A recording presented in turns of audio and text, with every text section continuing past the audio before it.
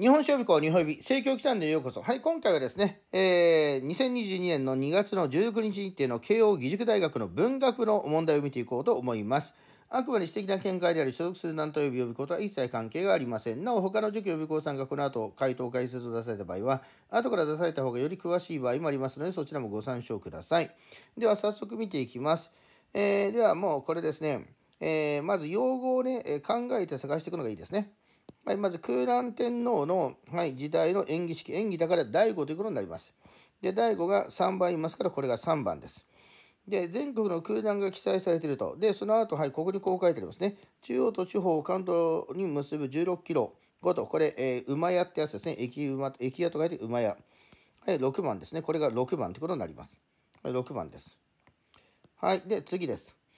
で海上交通では12世紀頃、はい、12世紀頃から、はい、各地の港に空欄が発達。はい。ということで、えー、いわゆるですね、えー、港にいて中継ぎ委託販売。問いとか問い丸でしょうね。ということで、8番がありますから、これが8です。で、その後、売買には貨幣が用いられた主として総船でしょうね。総船がありますから、9番。以上で終わり。はい、では、ロです。えー、幕府は陸上交通の整備に尽力、幹線、えー、道路、いわゆる五街道ですよね。は、何が管轄？もちろん、道中奉行。道中奉行ないから答えが0です。これ、道中奉行が入ることになります。ないから0です。なければ0ですからね。はい。では、交通では御用通行が優先され、空欄における宿役人、公用の書状、まずここ。ここからこれが継ぎ客ってことが分かります。だから8番目。どこにいる？問屋場です。これが1でしょう。で、京都の豪商空欄。はい。富士川の交通といった墨の倉領域。はい。ここが9番ということになります。はい。では次、1870年設置。もちろん工部省ですね。はい。1番です。で、1906年、空欄支給内閣国有化。はい。鉄道国有法といったら西園寺金持ち。4番。で、はい、福島県で、これ福島事件の時、誰ですか？三島さん。いないからこれもゼロです。はい、三島道常ですね。で、この人がいないからゼロということになります。まあ、さっきと同じ、まあ、これ、カッコることがこれゼロです。はい。で、えー、マンテスですが、ロシアから譲り受けたなんとか旅順間の鉄道。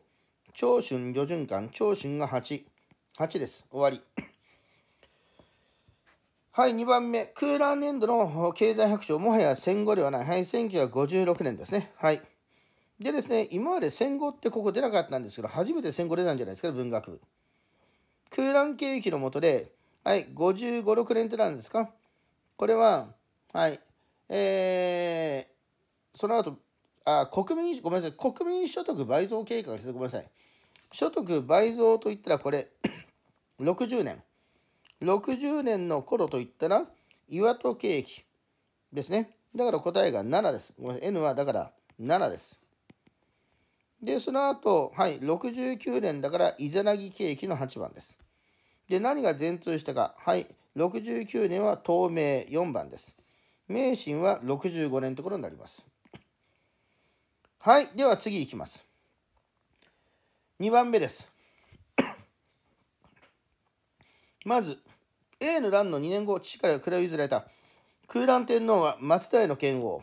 これトラップです。松平の剣王というと普通は堀川天皇を埋めそうになります。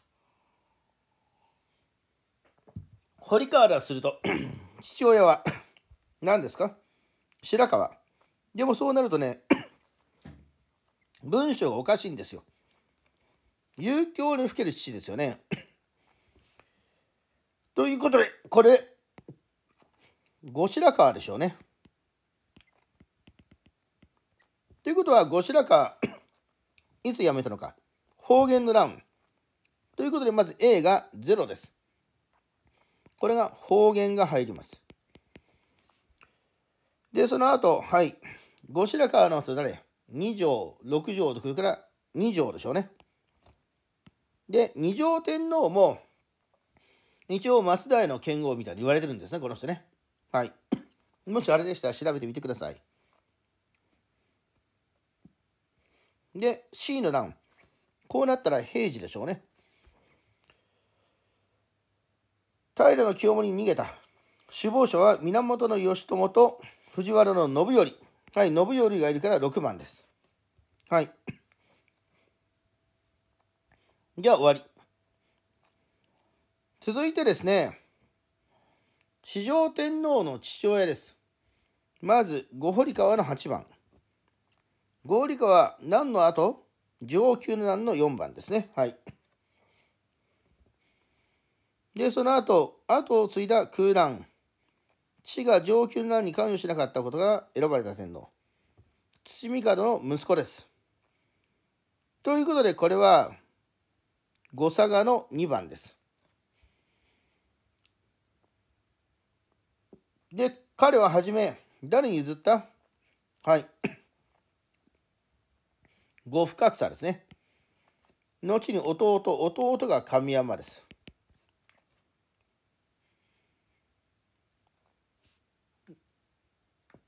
歯です。空欄天皇は南朝から三種の神器を回収した人。五小松天皇でしょうね。はい、9番です。上位後に、この将校天皇に先立たれ、漢文日記で知られる。ちょっとこれ難しい。はい。真田親王、3番ですね。使ってるの消そ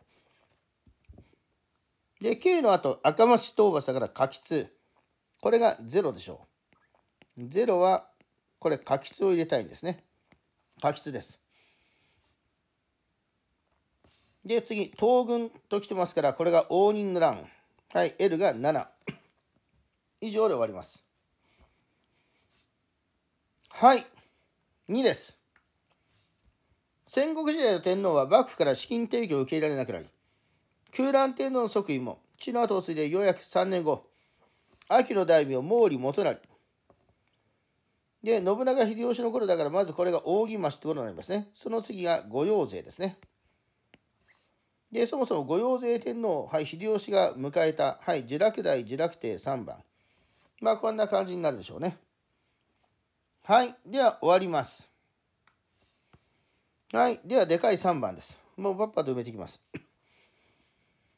林羅山画法が作った歴史書、本朝津願。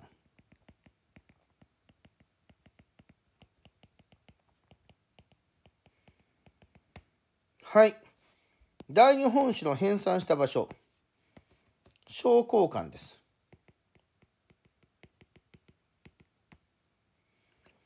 徳川家康の補佐した会津藩主、星名正幸ね、池田光政が合学の空欄を作った。合学ですからね。椎谷学校です。花畑は半額です。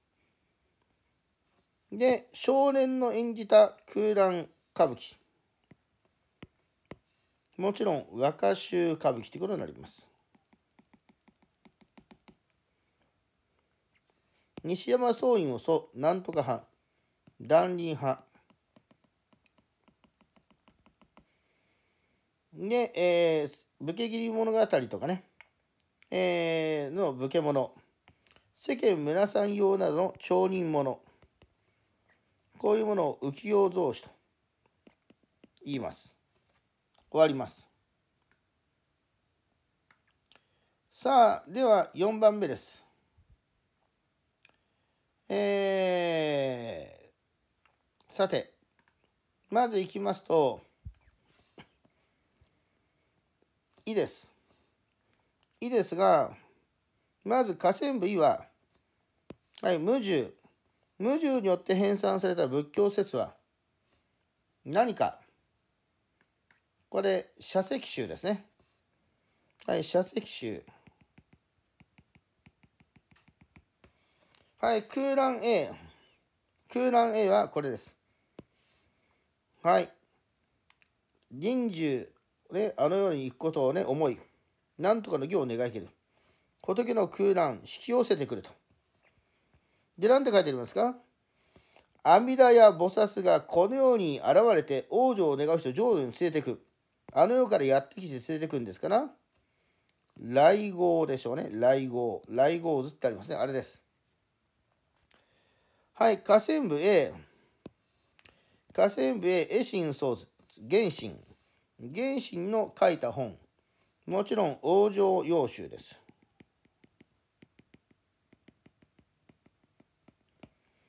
そして空欄 B。はい、新生園で何か行ったと。性的敗者の音量や疫病をいさめて陳腐する儀礼。これをですね、はい、問いの4番、五両へと言います。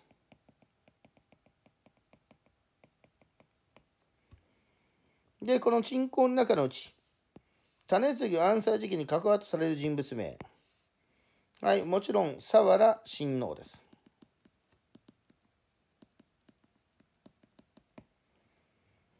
はい、空欄 C。この経、この経っていうのは平安京です。初めを切ることは何とか天皇の御時宮黒定め生きる命。えー、まず空欄 C。あ、ここじゃなかった？ごめんなさい、ここでした。はい、自称4年、水月の頃、にやかに都は移ったと。この都、これ、福原京、福原遷都ですね。この資料は、鴨の長目の北条記ですよ。まず、いの資料は普通知らないです。えー、ろの資料も普通知らないです。はは今言った株の長目の北条記です。はい。で、2はですね、後から出てきますが、地底記ですね。はい。では、早速いきましょう。空欄 C に当てはまる。はい。三筆の一人の天皇、佐賀天皇です。まあ、佐賀だけでいいです。空欄はね、えー、佐賀の天皇と来てますから。はい。で、よ、日本最初の王城伝。日本王城極楽記です。日本王城極楽記を書いた人。はい。吉重の安種。はい。吉重の安種。そして、河川部、空欄で、はい。星障子があった場所。どこか。もちろん白川です。だから白川天皇、白河上皇というんですね。最後に資料の方。じゃあちょっとここ消して、資料の方を注目しましょう。はい、色変えて、こうしましょう。これ。星少女を作った 国王の氏寺。これをもてなされるけるより、代々皆このね、音願を作られて、六章寺という、白川の御堂、大伽藍を続きありげる、陰性の頃ですね。で、政治形態、いわゆる陰性の話、経済基盤、これを書いていくことになります。かなり基本的な問題でしょうね。いきましょう。はい、ドン。陰性では、はい、上皇が、はい、陰の町を拠点に天皇の貢献役として聖戦的政治を行う。まずね、ここで、えー、あってもいいのが、例えば、はい、えー、父親とか祖父としてとか、もしくは父兄の血縁、まあ、これをメイン、まあ、こういう書き方をしてもいいです。はい、さらには上皇のところに法王も併記しても構いません。はい。で、上皇の命令である院前や院の町暮らし組が国政に効力を持つようになっていったと。はい。で、ここですね、一応こういうふうに書いてますが、ここでですね、はい、陰の謹慎の話を触れてもいいです。陰の謹慎は、えー、例えば図領層など中小貴族。それから、はい、陰のですね、はい、メノトの血縁者ですね。など中小貴族。まあ、こういうことを触れてもいいとも思います。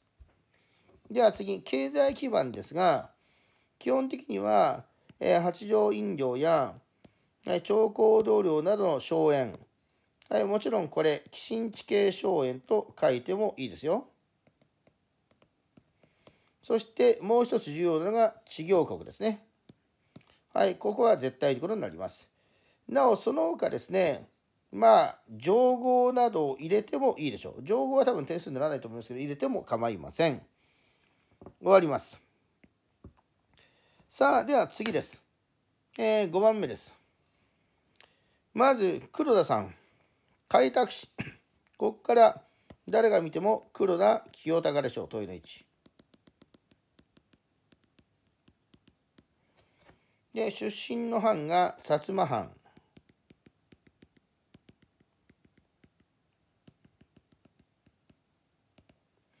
はい B について。はい富岡製糸場です。はいどこの国から入ってきたか。はいフランス。で、えー、たくさんの人たち女性が働いている。こういう人々を女工と言います。富岡製糸は当時大蔵省であったが後に他の省に移った。はい内務省。軽工業は内務省です。そして富岡製糸が払い下げられた場所が三井以上で終わりです。では最終問題ですが今回はえっ、ー、と設立した政府の狙いです。狙いなんかを書いていくことになります。では行きましょう。まず殖産工業政策これは絶対欲しいですで欧米からの先進技術を導入することで工業近代化を図ろうでここでですねまあお雇い外国人ですねこれを招いてまあというフレーズを入れてもいいですで、欲しいのは歓迎模範工場です。で、えー、なぜか理由がこれなんですね。具体化していきますと。はい、いわゆる輸出品の中心の製紙業の工場。まあ、製紙業。まあ、これもちろん、キートでも構いません。キートの製紙業とか、まあ、キートですね。はい。そしてさらに人材育成。まあ、こういうあたりですね。えー、その他、はい、技術の普及。えー、まあ、ここら辺もあっていいと思います。さあ、これで終わりました。比較的ね、今年もかなりね、え、高得点が予想されますね。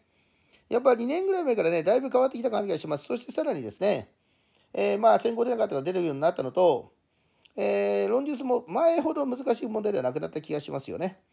はい。えー、ではですね、えー、またですね、えー、慶応を受ける方ですね、頑張って、えー、もう一回復習していってほしいと思います。えー、そして、えー、チャンネル登録といいねボタンだけよろしくお願いいたします。えー、最後に私から皆様にお願いが3つあります。